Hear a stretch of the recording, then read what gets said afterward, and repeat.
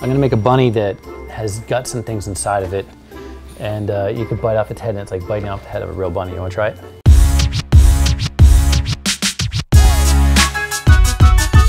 All right, folks, this is Landon. This is gonna be our bunny tester. When we make our bunnies, he's gonna be biting off the head of this thing and taste, telling us if it actually tastes like a real bunny. More on him later.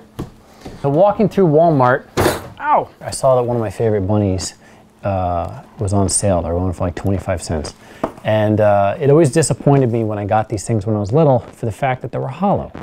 And I didn't necessarily want it to be full with chocolate, but I wanted to be filled with something. So I decided to buy a couple of these things and uh, cut them open, fill it with candy to make it a little more interesting. I bought some gummy worms, these like little uh, snack bites, some Swedish fish, boiled a pot of water, and this is actually a candy melting thing. On one side of this, I've got uh, gummy worms that I melted, and on the other side, I got all those snack bite chocolate things that are melted.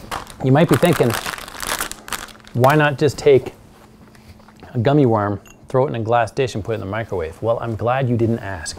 So we put it in for 11 seconds. So you notice with the microwave, if you put it in, you'll get some part that's really hot and gooey, and then the other half won't be melted that much at all. If you put it in a little longer to get it all gooey and like runny and liquid, it'll literally just disintegrate and stick to the jar. Ooh, that could be interesting. This was my test one. It didn't really work out too well. What I'm doing now, I'm just gonna cut a hole in the bottom of this. Works much better when you heat up the knife. There's my hole. All right, before I start pouring candy in the, in the bunny, I wanna fill the bunny with some stuff. Got some Cheerios. Put some Cheerios in there. These are gonna be the bunny's bones. Couldn't find miniature Easter eggs, but I found these little white M&Ms. These little white M&Ms, because Easter bunnies lay chocolate eggs, these are gonna be chocolate eggs that are inside the bunnies. And last but not least, because I wanna make a boy bunny and a girl bunny, with the boy bunny, you gotta put in two peanuts. Again, I haven't done this yet, so I'm not sure if it's gonna work.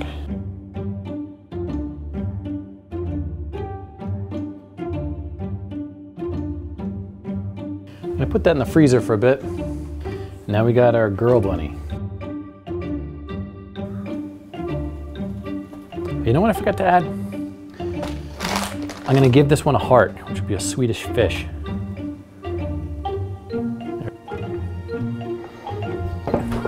All right, so here are our bunnies. And uh, I've had them in the freezer for about 15 minutes. They're a little wet, as you can expect. Gonna dry them off and then I'm gonna put them back in the freezer again. And what happened to the one where I put all the stuff in, but I didn't put it in water? That one just completely melted. He just uh, is goo now. Like he kind of looks like one of the guys at the end of Indiana Jones and Raiders of the Lost Ark, if you remember that scene.